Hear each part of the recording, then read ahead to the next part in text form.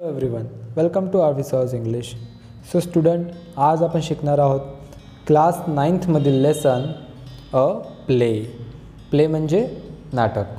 चला तर मग सुरू करूया. सीन वन म्हणजे दृश्य पहिलं. अ किंग्स कोर्ट म्हणजे राजाचा दरबार भरलेला आहे. A court awaits the arrival of the king आणि राजाचा दरबार भरलेला आहे आणि सर्वजण राजा येण्याची वाट बघत आहेत. Two guards are standing front right of the stage आणि स्टेजच्या समोर अगदी समोर दोन गार्ड्स म्हणजे दोन पहारेकरी थांबलेले आहेत. First guard to the second guard be alert the king is about to arrive आता पहिला पहारेकरी दुसऱ्याला म्हणाला? सावध रहा. राजा येण्याची वेळ झालेली आहे. Second guard who wants to be alert life seems like one long sleep in this land दुसरा म्हणाला की अरे सावध राहायची काय गरज आहे? या देशामध्ये या देशामध्ये तर जीवन लाईफ ही एखाद्या लाँग स्लीप म्हणजे लांब गाढ झोपेसारखी झालेली आहे. I am at ease all day though I am a guard आणि दिवसभर दिवसभर मी निवांत असतो जरी मी पहारेकरी असलो तरीही. First guard how boring I wonder if some interesting drama will unfold at the court today मग पहिला गार्ड म्हणाला की खरंच रे किती बोरिंग आहे किती कंटाळवाणं हे सगळं.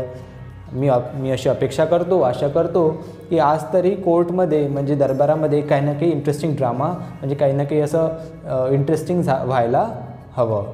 It would enliven the atmosphere त्यामुळे कसं वातावरण थोडं उल्हासित मजेशीर होईल. म्हणजे म्हणजे दोघंही पहारेकरी त्या दरबारातल्या कामाला कंटाळून गेले होते कारण तिथे एक्सायटिंग असं काही होत नव्हतं. Second guard I would be equally happy if there was none enter the disciple looking around second guard म्हणाला की यातलं काहीही मजेशीर वगैरे काही घडलं नाही तरीही मी खुश राहील. असं काही झालं नाही तरी मला तितकाच आनंद होईल असा तो सेकंड गार्ड म्हणाला. आणि तितक्यात enter the disciple looking around एक शिष्य आजूबाजूला पाहत पाहत दरबाराच्या आत प्रवेश करतो. First guard halt you are a stranger give your identity मग पहिला गार्ड म्हणाला सावधान तू एक स्ट्रेंजर आहेस म्हणजे तू अनोळखी व्यक्ती आहेस. आधी तुझी ओळख सांग आयडेंटिटी सांग. Disciple you are right I am a visitor here तर त्याच्यावर डिसिपल म्हणजे तो शिष्य म्हणाला तुमचं म्हणणं बरोबर आहे मी इथे एक प्रवासी आहे. A disciple of the wise stage from a घनघोर forest which lies to the east of your kingdom आणि पुढे तो म्हणाला की मी एका वाईस सेज म्हणजे अत्यंत हुशार अशा महात्म्याचा शिष्य आहे. आणि मी घनघोर फॉरेस्ट म्हणजे घनघोर जंगलातून आलेलो आहे जे तुमच्या राज्याच्या पूर्व दिशेला आहे. First guard what brings you here मग तू इथे कशाला आला? Disciple I have heard amazing stories about this kingdom of Andher Nagari त्यापुढे शिष्य म्हणाला की मी या अंधेर नगरीविषयी अत्यंत आश्चर्यकारक आश्चर्यजनक अशा गोष्टी ऐकलेल्या आहेत. अँड अ ग्रेट किंग चौपट आणि चौपट राजाबद्दल पण मी आणि चौपट राजाबद्दलसुद्धा मी बरंच काही ऐकलेलं आहे. I am especially impressed by the fact that everything in the market is sold at the same price आणि मला ह्या गोष्टीचं जास्त आश्चर्य वाटलं की तुमच्या इथल्या मार्केटमध्ये प्रत्येक गोष्ट ही सारख्या प्राईजवर म्हणजे सारख्या किमतीवर विकल्या जाते. नो कॉम्प्लिकेशन त्यामुळे त्यात गुंतागुंत होण्याची किंवा कोणती समस्या उद्भवण्याची त्यात जागाच उरत नाही असं तो डिसिपल म्हणाला.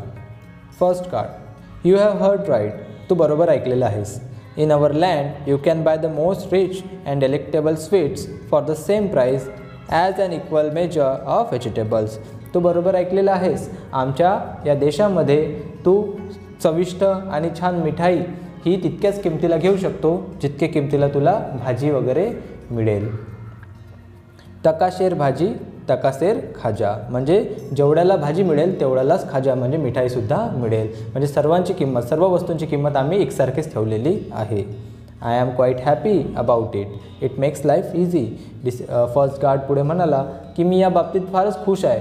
का बरं? कारण यांनी जीवन कसं आरामशीर म्हणजे सोपी होऊन जाते. काही प्रॉब्लेम राहत नाही काही कन्फ्युजन राहत नाही. दोन दोन तीन तीन वस्तूंचे वेगळे वेगळे भाव लक्षात ठेवायची गरज उरत नाही. Disciple so it should so it should it would be a good idea to settle in this land disciple म्हणाला की तुझं म्हणणं बरोबर आहे. मला या देशात वास्तव्य करायला आवडेल. But first I would like to attend the court today पण आधी मला एकदा दरबार कसा चालतो इथला दरबार कसा चालतो ते पाहायचं आहे. And pay my respect to the mighty king Chaupat Chaupat Raja यांनासुद्धा मला प्रणाम करायचा आहे. Second guard you may stand there pointing out with those people who are in queue तर दुसरा पहारेकरी त्याला म्हणाला की ठीक आहे. तू ते लोक जिथे उभे आहेत त्याने इशारा करत दाखवलं की ते लोक जिथे उभे आहेत तिथे जाऊन तू उभा राहा. Loud voice from loud voice from back stage hear you people here comes the most noble most revered most gracious most learned king Chaupat of this vast kingdom make way for the king bow to the royal monarch आणि जसा राजाने प्रवेश केला तसा मोठ्याने घोषणा झाली की सर्व लोकांनो लक्ष देऊन ऐका. थोर राजा आदरणीय पूजनीय अतिदयाळू विद्वान आणि या विशाल राज्याचे राजे राजा चौपट हे दरबारामध्ये प्रवा प्रवेश करत आहेत. राजांना मार्ग द्या. सर्व राजांना मुजरा करा. अशा प्रकारे राजा येण्याची घोषणा झाली. King Chaupat arrives to the fanfare of bugles and drums and take his place on the throne अशा प्रकारे किंग चौपट म्हणजे चौपट राजा हा त्या दरबारामध्ये प्रवेश करतो आणि ड्रम्स आणि बगल्स म्हणजे नगाडे ढोल वाजत राहतात आणि तो आपल्या आसनावर जाऊन स्थानापन्न होतो. King let the court begin दरबार सुरू करा असं राजा म्हणाला. Fourth guard messenger the first complaint चौथा जो पहारेकरी होता तो जोरात म्हणाला की पहिली कंप्लेंट घेऊन या पहिली फिर्याद घेऊन या. थीफ म्हणजे चोर. Rushes forward and wails loudly justice O most great king I beg for justice एक चोर धावत धावत पुढे आला आणि राजाला म्हणाला न्याय हे थोर महान राजा मला न्याय द्या मी न्यायाची भीक मागतो. King and what is your complaint राजा म्हणाला की तुझी कंप्लेंट काय आहे? तुझी फिर्याद काय आहे? Thief. In this great land of Andher Nagari my friend and I have been truly hardworking honest thieves. Thieves तर चोर पुढे म्हणाला की या अंधेर नगरीच्या महान देशामध्ये महान राज्यामध्ये मी आणि माझा मित्र आम्ही एक प्रा आम्ही दोघं प्रामाणिक चोर आहोत all these years we have been true to our profession आणि एवढ्या वर्षापासून आम्ही आमच्या कामाशी नेहमीच प्रामाणिक राहिलेलो आहे अत्यंत मेहनतीनं प्रामाणिकपणे आम्ही इतक्या वर्षापासून चोरीचं काम करत आलेलो आहोत. And what is our reward last night with great efforts we made a hole in the wall for a merchant's house when all his family were away पुढे तो म्हणाला की व्हॉट इज द रिवॉर्ड इतके वर्ष आम्ही एवढी मेहनत केली एवढं प्रामाणिक राहिलो एवढं प्रामाणिकपणे चोऱ्या केल्या आणि आम्हाला काय बक्षीस मिळालं? काल रात्री आम्ही एका मर्चंट म्हणजे एका व्यापाराच्या घराच्या भिंतीमध्ये मोठा होल केला म्हणजे मोठा छिद्र केलं. कारण त्या व्यापाऱ्याची सर्व फॅमिली म्हणजे सर्व परिवार हे बाहेरगावी गेलेले होते. My friend peered through that hole into the house आणि माझा मित्र त्या भिंतीमधून घरामध्ये प्रवेश करायचा प्रयत्न करत होता. When suddenly the wall collapsed आणि अचानकच ती भिंत कोसळली. आणि असं म्हणून तो वेल्स लावडर म्हणजे जोरजोरानं रडू लागला.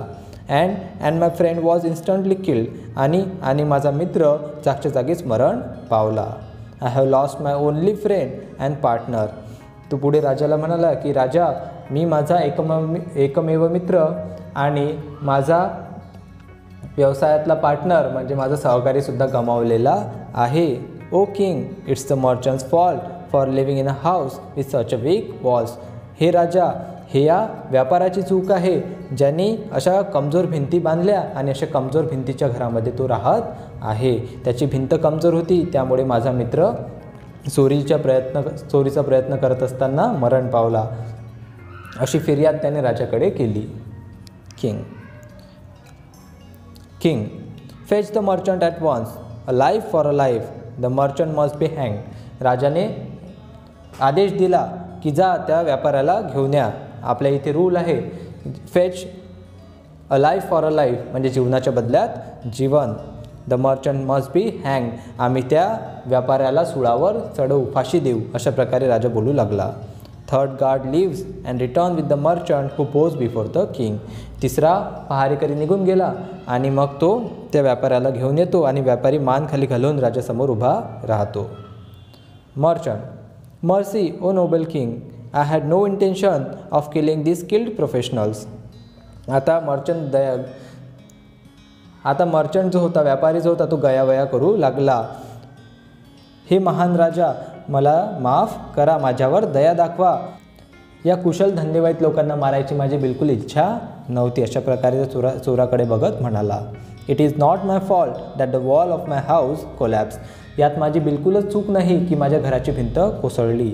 My house has been recently build it is the fault of bricklayer who carelessly build such a weak wall तो म्हणाला की माझं घर तर आता इतक्यातच बांधलेलं आहे. यामध्ये जर कोणाची चूक असेल तर ती त्या भिंत बांधणाऱ्याची चूक आहे ज्यांनी अशी निष्काळजीपणे अशी कमजोर भिंत माझ्या घराची बांधली. King bring the careless bricklayer immediately he must be hang for his fault आता पुढे राजांनी पुन्हा आदेश दिला की जा त्या गवंड्याला म्हणजे भिंत बांधणाऱ्याला घेऊन या. ही नक्कीच त्याची चूक आहे. आणि त्याच्या चुकीसाठी आम्ही त्याला फासावर लटकवू. Second guard leaves and return with the bricklayer अशा प्रकारे दुसरा गार्ड म्हणजे दुसरा पहारेकरी जातो आणि त्या गवंड्याला त्या भिंत बांधणाऱ्याला घेऊन येतो. Bricklayer oh most kind lord and king kneeling to the king आता ब्रिकलेअर राजापुढे गुडघ्यावर झुकला आणि म्हणाला हे महान राजा हॅव मर्सी माझ्यावर दया दाखवा. I beg you don't send me to the gallows मी तुम्हाला भीक मागतो तुमच्याजवळ भीक मागतो की मला गॅलन्समध्ये म्हणजे तुरुंगामध्ये पाठवू नका. I agree that I build the wall which collapse and killed a man मी ही गोष्ट मान्य करतो की जी भिंत मी बांधली होती ती कोसळली आणि त्यामुळे एका माणसाचा मृत्यू झाला. But it was not due to my carelessness पण यामध्ये माझी कुठला माझा कुठलाच निष्काळजीपणा नव्हता. The mortar which I use to lay the bricks was very poor quality विटा लावण्यासाठी मी जो चुना वापरला होता तो अत्यंत खराब क्वालिटीचा होता. There was too much of water mixed in it त्या चुन्यामध्ये खूप जास्त प्रमाणात पाणी मिसळलेलं होतं. It is entirely the mortar makers fault तो चुना ज्याने बनवला हा सगळा सगळा दोष त्याचा आहे यात माझा काहीही दोष नाही. असा तो ब्रिक लेअर म्हणजे तो गवंडी म्हणाला. King summon the mortar maker at once. He must pay he must pay his life for his thoughtfulness राजा म्हणाला की जा त्या मॉटर मेकरला म्हणजे चुना बनवणाऱ्याला घेऊन या. त्याच्या या मूर्खपणासाठी त्याला त्याचे जीव देऊन त्याला त्याच्या जीवनाने किंमत मोजावी लागेल. First guard exits and return with the mortar maker who rushes and throws himself before the king आता पहिला हारेकरी निघून जातो. तो त्या मॉर्टर मक मेकरला धरून आणतो आणि राजाच्या पुढे सादर करतो. Mortar maker wailing loudly mortar maker आता जोजोरात रडता रडता फॉर गिव मी ओ मर्सीफुल किंग मला माफ करा हे दयाळू राजा. Please do not hang me to that please मला मारून टाकू नका किंवा सोडावर चढवू नका. I have a wife and two young children मला बायको आहे आणि दोन लहान मुलंसुद्धा आहेत. Who will look after them त्यांच्याकडे कोण लक्ष देणार? अशा प्रकारे तो राजाची गयावया करू लागला. King your careless your carelessness has cost your carelessness has cost life you must pay with your life तुझ्या निष्काळजीपणामुळे एका माणसाचा जीव गेला. तुला त्याची किंमत स्वतःच्या प्राण देऊनच मोजावी लागेल. Water maker no no no my royal lord I am not to blame नाही नाही. माझा यात काहीही दोष नाही. The pot which I use to pour water into the mortar had an extraordinary large mouth ज्या भांड्याने मी चुन्यामध्ये पाणी घालत होतो त्या भांड्याचं तोंड फार मोठं होतं त्या मडक्याचं तोंड फार मोठं होतं. So excess of water poured down to the mortar mixture त्यामुळे चुन्यामध्ये जास्त पाणी पडल्या गेलं. I was helpless it is the potters fault for making such useless post यामध्ये माझं काहीही दोष नाही. तर हा संपूर्ण दोष त्या कुंभाराचा आहे. ज्यानं असं मोठ्या तोंडाचं मडकं बनवलं. King let the potter be brought here at once he must be exhaust he must be executed for moulding such a useless spot मग पुढे राजाने आदेश दिला जा त्या कुंभाराला मडकं बनवणाऱ्याला घेऊन या.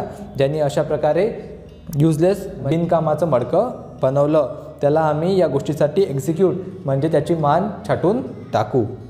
Fourth guard leaves and reenters with the potter चौथा पहारेकरी निघून जातो आणि पॉटरला म्हणजे कुंभाराला घेऊन येतो. Potter cowering before the cowering before the king कुंभार जो राजापुढे येऊन घाव घाबरून जातो. Your majesty show mercy to this humble potter हे महाराज माझ्यावर तुम्ही थोडी दया दाखवा. I agree the pot I made and sold to the mortar maker was a defective one मी ही गोष्ट मान्य करतो की जो मडकं जे मडकं मी घडवलं आणि या मॉटर मेकरला मी जे विकलं ते थोडं डिफेक्टिव्ह होतं म्हणजे त्याच्यामध्ये दोष होता. But I am not guilty as I was holding the pot I heard a sweet delicate ting tinkling of ankles पण माझा यामध्ये काही दोष नाही मी गिल्टी नाही. कारण जेव्हा मी तो तो पॉट ते मडकं घडवत होतो बनवत होतो तेव्हा मी अचानक सुंदर असा अँकल्स म्हणजे पैंजणांचा आवाज ऐकला.